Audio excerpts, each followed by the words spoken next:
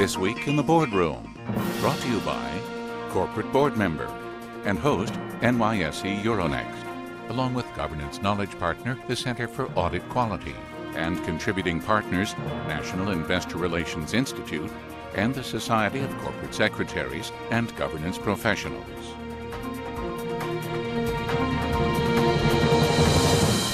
Welcome to this edition of This Week in the Boardroom. I'm TK Kerstetter with Corporate Board Member, and it's my pleasure to welcome you to what we believe is going to be a great show today, in that we have a former SEC commissioner who currently sits on some boards who's going to give us her views about board, board and governance issues. So please join me in welcoming my guest, Cynthia Glassman, who's currently a director on Navigant Consulting and Discover Financial Services.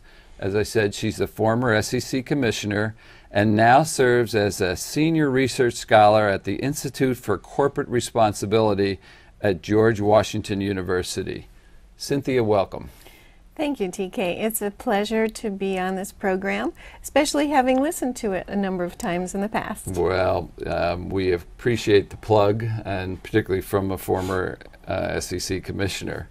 So, what makes it interesting to have you as a guest is we get to have a little insight. So, let's first start by taking a look at your uh, observation of the SEC today. We know that they are overloaded with a lot to, that has come out of Dodd Frank and a lot of responsibilities coming out of the financial crisis. So, give us sort of your view as you look at them today and what challenges they face and what, what just what your opinions are. Uh, well, as you said, they are overloaded. They have huge challenges. Uh, let me step back a minute and, and describe the normal rulemaking process, which is there may be a concept release, uh, and then there's a rule proposal uh, that goes out after uh, all of the internal discussions of what it should be. Then there's a comment period of normally 60 to 90 days. Then there are comments. There may be a few comments, there may be thousands of comments. And the staff and the commissioners have to go through those comments or summaries uh, before they come up with the final rulemaking uh, that then goes back to the commission. And as all of that is happening, the commissioners can actually all sit in a room, closed door room, and talk to each other because of the Sunshine Act. Uh, so that's the normal deliberative process. Now we overlay it with uh, almost 100 rules and 20 studies with deadlines that were pretty unrealistic, uh, with topics ranging uh, all over the map, including things that the SEC doesn't normally have expertise in, such as the conflicts minerals disclosures. And that slows the process down. Uh, they need to be deliberative, they need to be thoughtful, a lot of these rules are controversial. They need to work with other agencies, with other countries. They have some actual or potential litigation. They've got a lot of headwinds. It's a difficult time.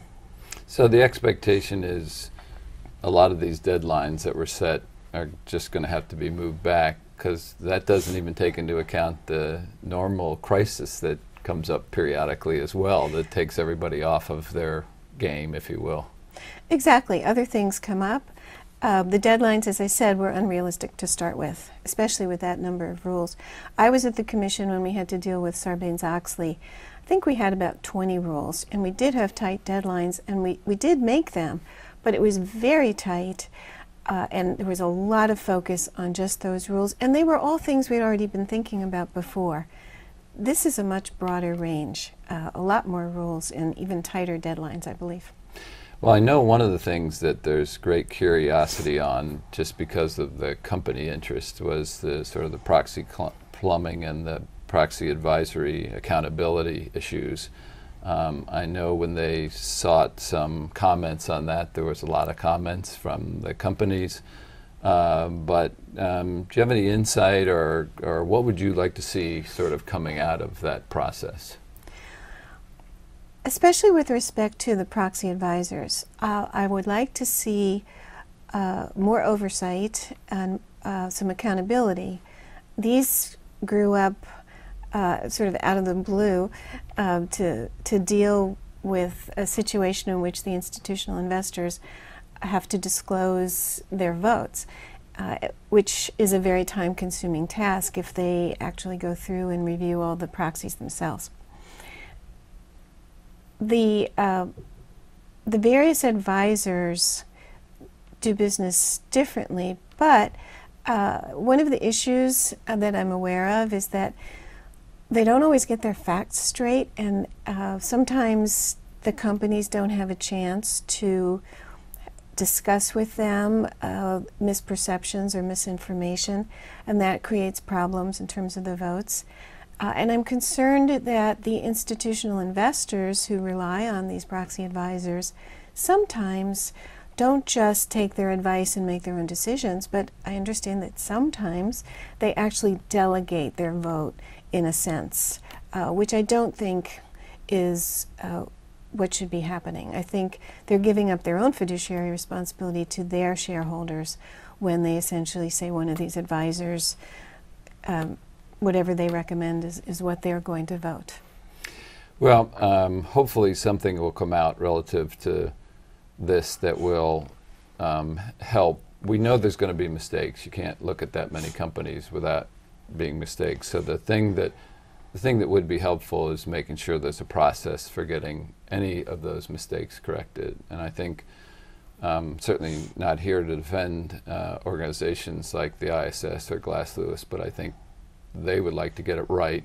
They would like to have a process right. to get it right as well. So I hope that through this somehow that that is the end result. I think everybody's going to be happier in that. A, a, better process, better accountability, uh, and a little more transparency. Yeah. That would all help.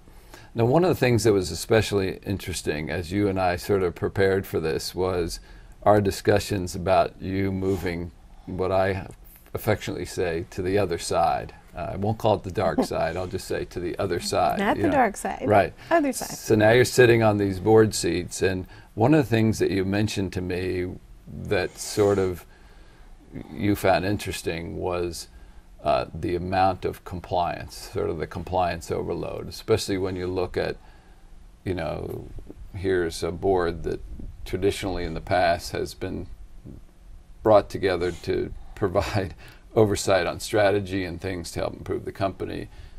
One of your observations was, boy, with all the compliance, it's difficult to have time. Talk a little bit about that because I think that's a frustration that's probably shared by others.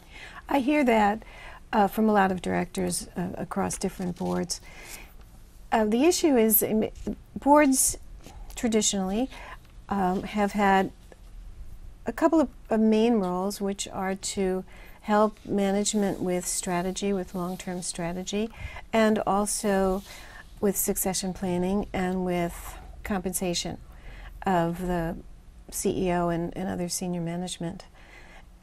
What's happened more recently in recent years is that a lot of time at the board meetings are now taken up with compliance issues, uh, risk management issues, regulatory issues. And the board meetings themselves are, are typically a couple of days, five, maybe six times a year. And all of these other discussions are kind of squeezing out the time for strategy, especially. Uh, many boards carve out one whole meeting or one whole day to focus on strategy. But the balance has shifted, uh, and the um, directors are now expected to play much more of a role in oversight on compliance and risk management. Um, without being there day to day in the company, that's a challenge. As I've heard you say, uh, boards are supposed to have nose in, fingers out. Uh, and with compliance issues in particular, uh, sometimes it's, it's hard to keep the fingers out uh, but still have the nose in. So it's a challenge there are just so many questions that I want to ask, and I'm worried about running out of time here. But let me do a couple quick ones. First of all, um, um, the rulemaking when the courts in the last proxy access uh, access issue sort of stressed the importance of uh, making sure that there was a benefit analysis in the rulemaking. Tell me your thoughts on that. Well, I was uh, ecstatic as uh, one of the only ever economist commissioners on the commission. I believe I was only the second one. I had always pushed for uh, more, better, robust, and more complete cost benefit analyses. And we lost a couple of court cases while I was on the board too on cost benefit issues. It's very important to have effective rules to consider the cost. My mantra at the time was what are we trying to accomplish with this rule? Is this will this accomplish it? Is this the best way to accomplish it? Uh, are there going to be unintended consequences and do the benefits outweigh the costs? And the earlier on in the process you start thinking about the benefits and the costs, the more focus you can have on choosing the path that will get you to a cost effective rule. Well, I think the courts were so um, emphatic about that. I, I think that that is clearly going to be a thought process going forward. I think that message has been sent, at least um, going forward. I'm sure the SEC doesn't want to end up in court again on those issues, but uh, cost benefit, I'm reasonably sure, is going to be um, analyzed going forward. But one last question. So, other than the compliance, again, you have this experience, you're sitting on two corporate boards what has been enlightening to you in your experience so far, or surprise to you as far as serving them? What's what's what has been something that you sat back and said, you know, that's either something you didn't expect, or again was enlightening? The main thing, obviously, other than compliance, which uh, we've talked about, is the the tone at, at the board of dealing with any all these new rules and regulations. As a commissioner, I would hear all the reasons uh, why they may not be the best rules or the best way to do it. But once the rule is implemented, what I'm hearing at my boards and others is they stop complaining, they stop whining, and they just do it. They do it the best way they can. Uh, and that, uh, I think, is pretty much across the board from my own boards and other boards, they're engaged, they want to do the right thing, and when they have a rule, even if they didn't think it was it made sense or wasn't the best way or whatever, when it's promulgated and implemented and they have to do it, they do it.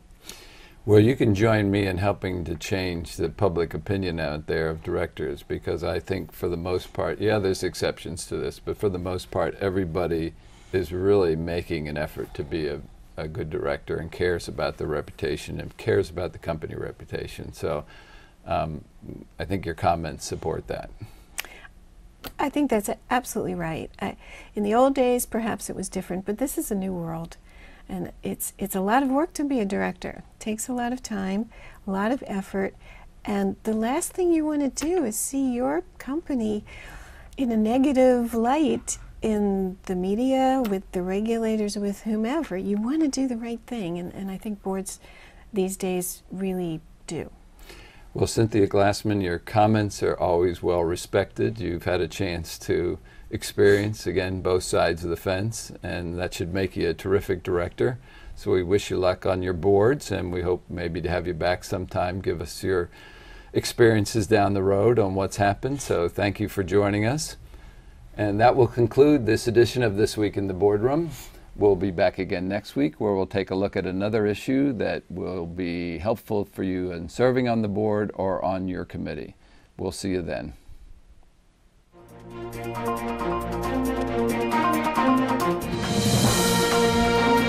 Join us again next week for This Week in the Boardroom, brought to you by corporate board member and host NYSE Euronext along with governance knowledge partner, the Center for Audit Quality, and contributing partners, National Investor Relations Institute, and the Society of Corporate Secretaries and Governance Professionals.